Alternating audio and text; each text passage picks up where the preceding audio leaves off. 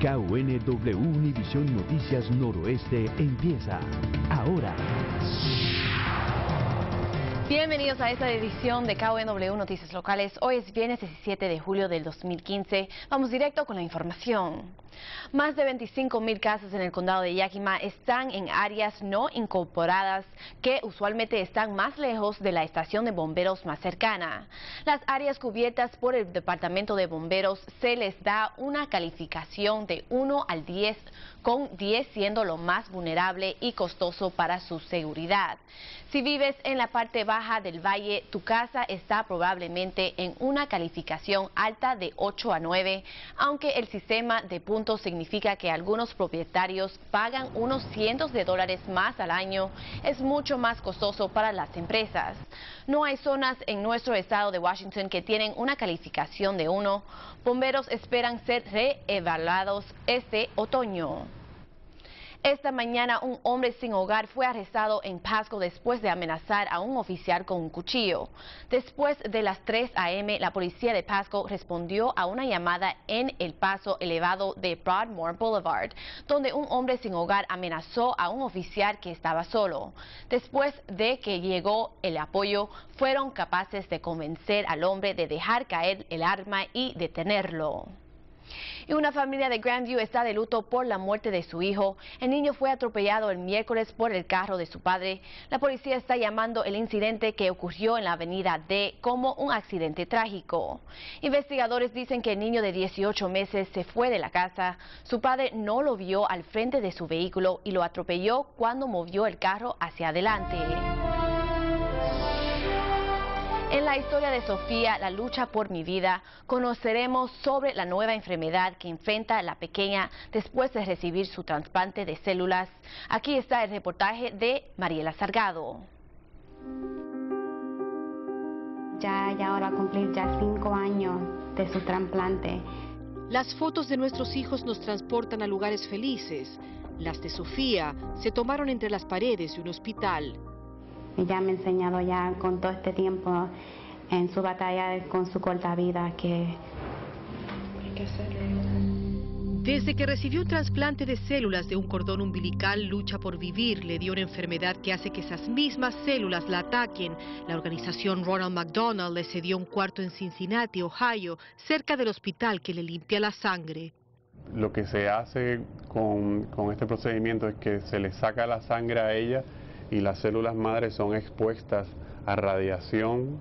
Una vez se exponen esas células que están activas y bien eh, agresivas, se apaciguan y se le vuelven a entregar a, ella en el cuerpo por el otro lado como una diálisis.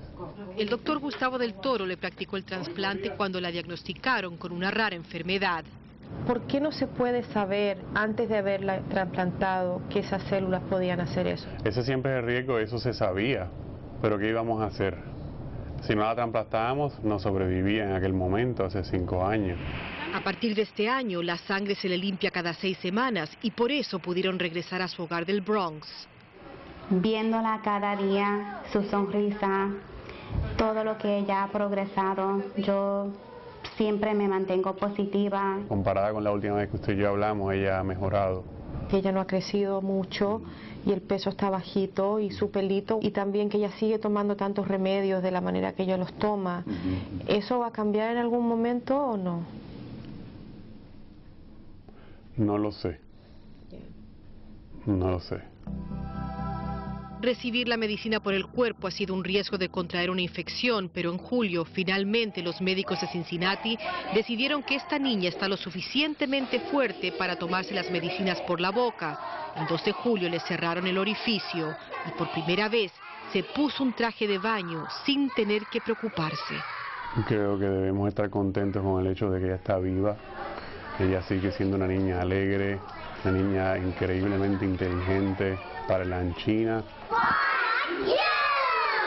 Ella me dice que quiere ser nurse practitioner. Todo esto ha pasado por una razón. Y solamente Dios sabe lo que hace. Le recordamos que si no hubiese sido por esa madre hispana que donó el cordón umbilical de su bebé a Sofía, ella no estaría viva. Para conocer más sobre la donación de células madres y de médula ósea, visite www.marrow.org. En la ciudad de Nueva York, Mariela Salgado, Univisión. Los hospitales infantiles a nivel nacional lanzan una alerta a los padres de familia por el uso de detergentes líquidos que vienen comprimidos en bolsitas de plástico. Viri Solano nos informa. Buenas tardes. Efectivamente, esta alerta fue emitida por los hospitales infantiles a nivel nacional y es que un reciente estudio del consumidor reveló que este tipo de detergentes representa un verdadero peligro para la vida de los niños. Hospitales infantiles a lo largo del país están recomendando que padres de familia no utilicen los detergentes para ropa que vienen en porciones pequeñas y en bolsitas de plástico. Lamentablemente, muchos niños han confundido estos detergentes con dulces. Lo muerden, el detergente se abre y lo tragan. Y el problema es que es muy concentrado ese jabón y puede causar inflamación, quemaduras del esófago y también este, es posible que puede Em, dañar los pulmones. La recomendación es que si tiene niños menores de 6 años, utilice detergentes regulares, ya que de acuerdo a reportes del consumidor del 2012 al 2013, más de 17 mil niños inhalaron o estuvieron expuestos a los fuertes químicos que componen ese tipo de detergentes. En los últimos años es más popular, o sea, es muy fácil, o sea, coger una bolita, meterlo en la lavadora en vez de coger el vaso, medir el jabón y después es más fácil. Pero cuando las cosas hacen más fácil, a veces hay riesgos. Las opiniones de nuestros seguidores en Facebook no se hicieron esperar. Karina Cintia comenta, creo que todo puede ser peligro si ponen las cosas al alcance de los niños y los padres no están atentos, sean más responsables, simple. Mientras que Delia de Córdoba opina, es que los niños los confunden con caramelos y se los comen, según que ha incrementado mucho las llamadas de emergencia por esta causa. De acuerdo a expertos de salud, estos detergentes deben tratarse como si fueran medicamentos, no tenerlos al alcance de los niños, ya que si son ingeridos podrían ser mortales. Y bien, en caso de envenenamiento o cualquier emergencia de este tipo, usted puede comunicarse al número de teléfono 1-800-222-1222. Reportando en directo desde el Hospital Infantil del Paso, Viri Solano Noticias 26, Univisión. Y nos vamos a una, una pausa y regresamos con las condiciones del tiempo. El estado de Arizona ordena la construcción de un túnel de más de 300 pies. Servirá para que cientos de personas crucen por esa vía. Y aquí está Oscar Gómez con los detalles. Después de experimentar un aumento en el flujo de personas que cruzan la frontera en el puerto fronterizo Mariposa, el Departamento de Transporte iniciará la construcción de un subterráneo. La gente que está cruzando peatonal en la puerta de Mariposa um, tiene que, para llegar a donde pueden recogerlos, tienen que cruzar donde salen todos los camiones. So, es algo importante para Arizona Department of Transportation, para la seguridad de la gente. La obra iniciará antes del cruce de camiones y será más que todo un túnel de cemento de 356 pies de largo, 10 pies de ancho por 10 de alto. Se espera que la construcción inicie en las próximas semanas y que termine a finales de diciembre de este año. El costo será de 3.3 millones de dólares. Estamos entrando constantemente y sí, sí he visto pues mucho flujo de, vehículos grandes. Hay peligro ahí para la gente pues que, que cruza de diario.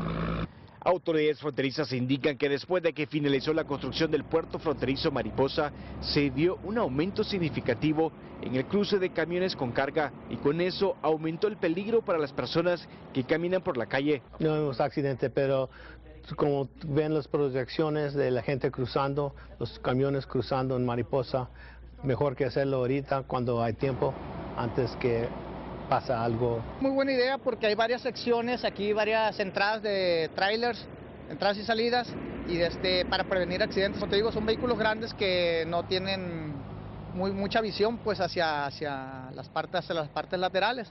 Este, y sí, pues ah, como me comentas de que van a hacer el túnel, se me hace muy buena idea.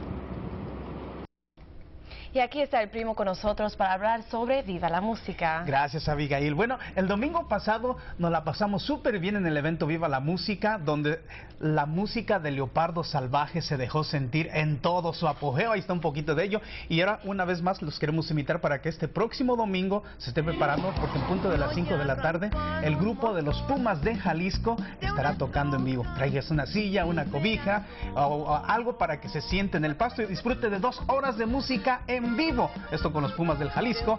Y pues una vez más, gracias a la ciudad de Yakima, que este año también a Mariano Morales se unió. Este es un abogado de accidentes de tráfico, quien es parte de la segunda parte de la serie de conciertos Viva la Música. Los esperamos, recuerde, es mañana domingo, Parque Miller de Yakima, en punto de las 5 de la tarde. Así que ahí está la invitación, Avi. Gracias, primo. Y claro que nosotros vamos a estar ahí para gozar y tener un buen fin de semana. Así es. Así que lo vamos a estar esperando. Recuerde, es completamente gratis, al aire libre y libre de costo, así de que cáigale, porque va a ser muy buen ambiente el día de mañana, en el día domingo, en el Parque Miller de Yakima. Gracias, primo. Y así concluye nuestra edición de KW Noticias Locales. Gracias por sintonizarnos. Que tengan un buen fin de semana.